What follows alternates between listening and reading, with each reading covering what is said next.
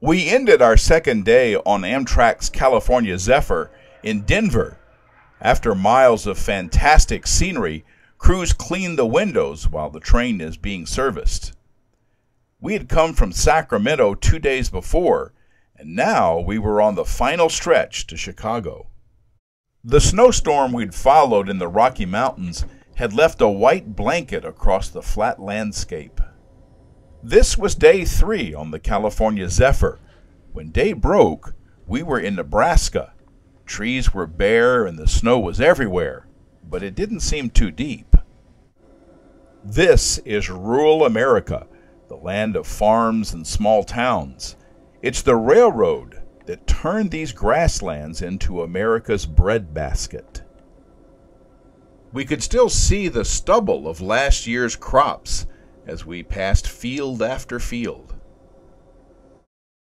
The morning started quiet. The spectacular scenery of the past two days was behind us now.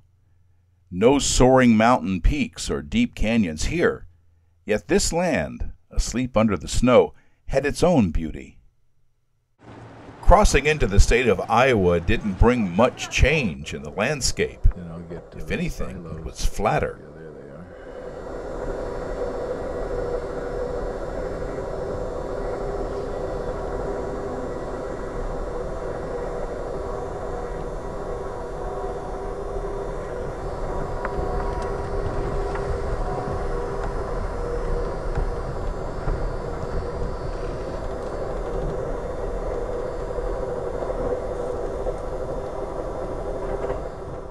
We did see something different crossing into Illinois. We stopped chewing our lunch long enough to gaze out at the mighty Mississippi River, wide river be. even this far north. Okay, we are crossing the Mississippi River right here. Oh, look at that old, old barge hulk there.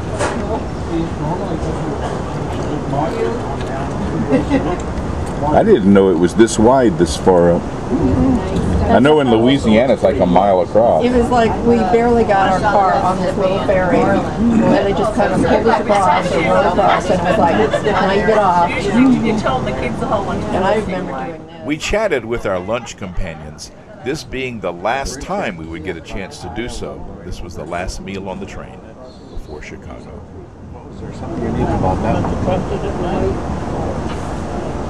We're going into Mississippi. Attention, ladies and gentlemen, this is Johnny Kirsten speaking as we cross the beautiful Mississippi River as we're about to cross into Illinois. This will be last call for lunch in the dining car. If you desire to have lunch in our dining car, please come on at this time. Once again, this is the last River and final call for lunch in the dining car.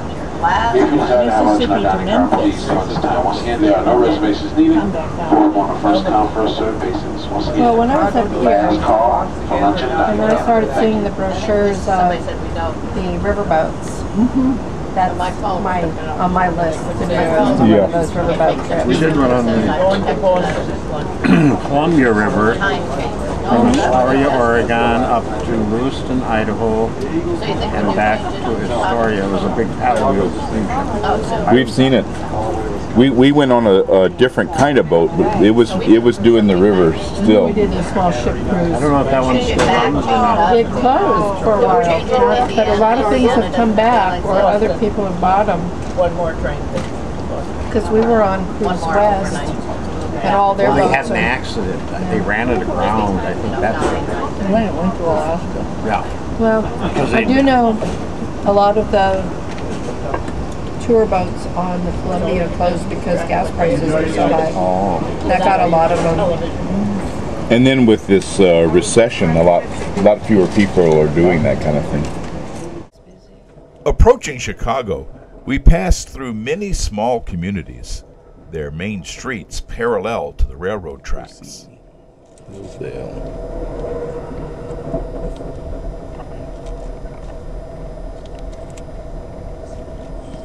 There was a Starbucks. I saw a bakery.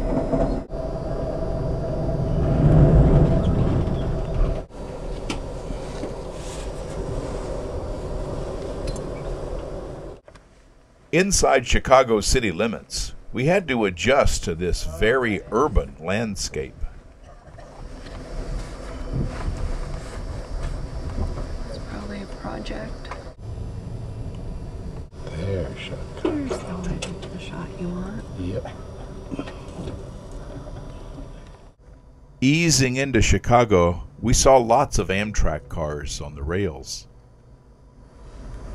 I got one with the train in it for you. Good.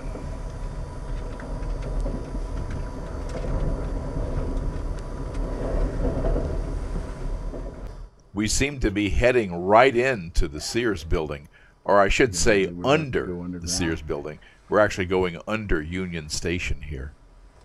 Okay, mine's away. Our spectacular three day journey was over. We got off the California Zephyr in the darkness of the Union Station Underground.